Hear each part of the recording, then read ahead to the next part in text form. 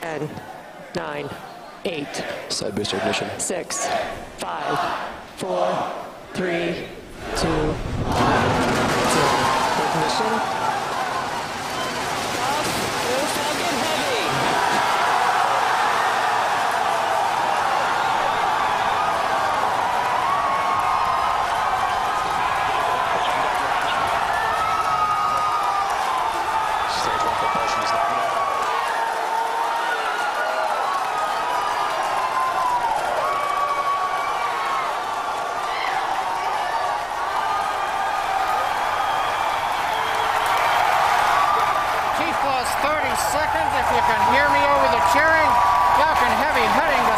On our test flight.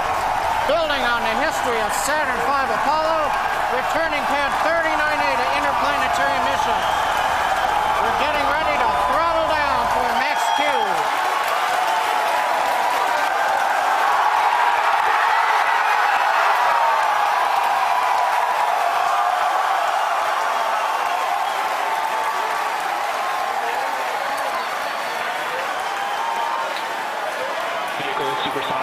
You've heard the call out. Vehicle is supersonic.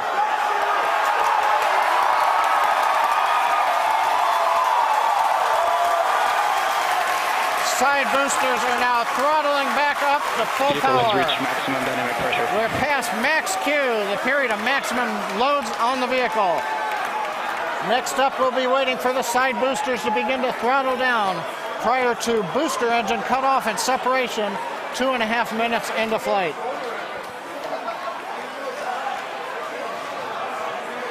GNC trajectory looks good on the Falcon Heavy.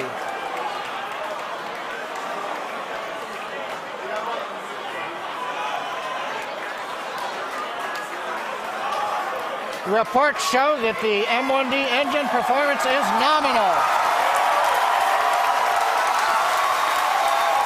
Contact engine says begun. Side boosters have begun to throttle down in preparation for the upcoming shutdown in 20 seconds.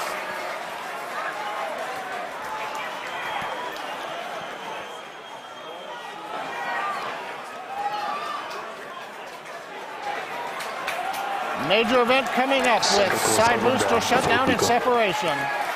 Inside shutdown. Side boosters. BECO. Center. Boosters. Ooh, uh, south one up. S1 keeps going.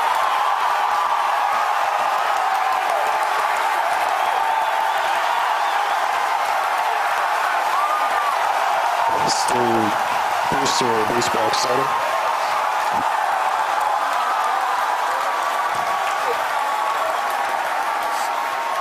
Successful separation. We're coming up on MECO and shutdown. Stay set. Good separation confirmed. Event recognition. This big burn looks good on side boosters. Backburn startup.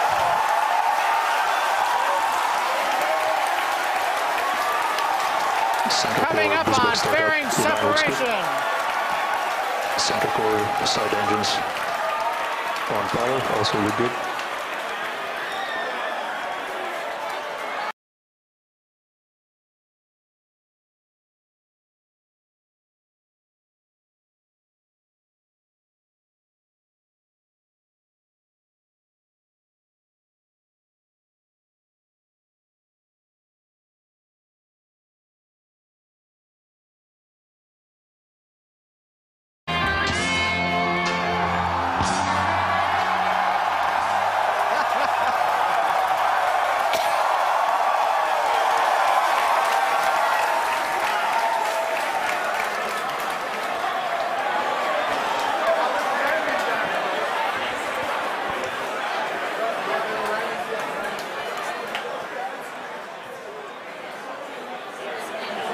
Wow.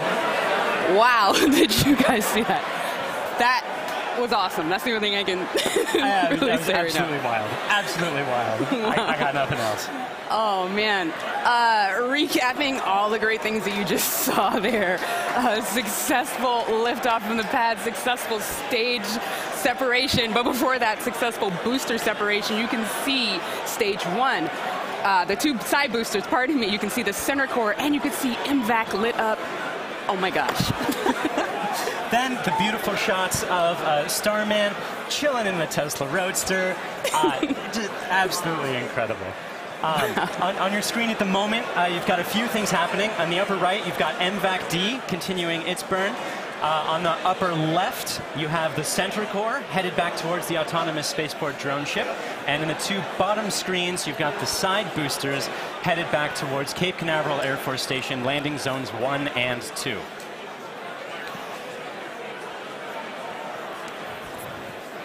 Uh, the next step coming up for the side boosters and the center booster uh, is the re-entry burn. Uh, that's going to slow it down from, uh, or slow all the boosters down from way faster than the speed of sound to just faster than the speed of sound uh, in order to reduce some of those aerodynamic forces and heating that occurs when you're moving that quickly through the atmosphere.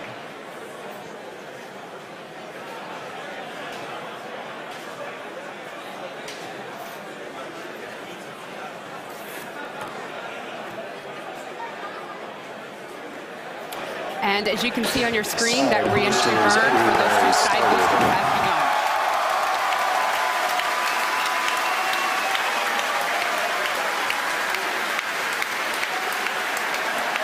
Side boosters entry burn shut down. Side core entry burn target. Check. The center core in the upper left of your screen performing its own re-entry burn. You can see the, the edge of Cape Canaveral in uh, both of the side booster cameras as those are coming in. Yes, PY and NY side boosters have saved.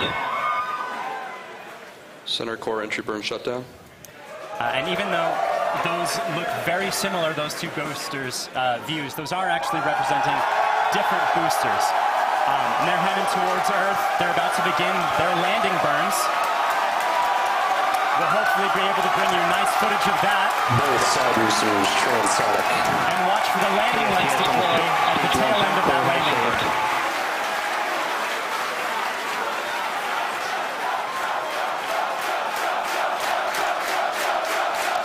And that landing burn has started. Stage two, turn the button. Both boosters looking to be on track towards their respective Side landing boosters zones. landing lines have started. Side boosters landing legs have deployed.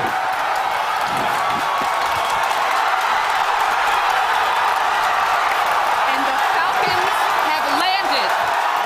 LZ1, LZ2, both side boosters have touchdown. Landing out to move on to level by level, recovery one and recovery two. Stage Two, APS has saved. And coming up very shortly, the Center Core will be attempting its landing on the autonomous spaceport drone ship. You may also be hearing the second engine cut off. Oh, check on your screen. Sometimes this footage goes out when it approaches the drone ship and the heavy vibrations make it lose signal. We're crossing our fingers that's not the case right now.